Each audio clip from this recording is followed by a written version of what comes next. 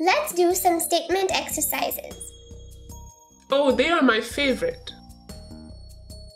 Statement problems. There are seven juice bottles in three groups. How many juice bottles are there altogether? To find the total number of juice bottles, we multiply. 7 juice bottles multiplied by 3 groups is equal to 21 juice bottles.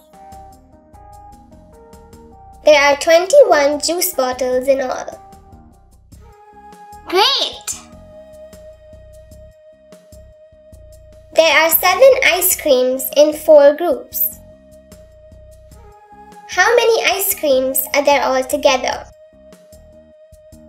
To find the total number of ice creams, we multiply. 7 times 4 equals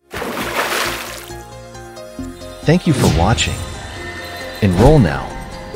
To access all 158 videos totaling 10 hours and 3 minutes, featuring introductions, examples, and exercises for grade 3 math.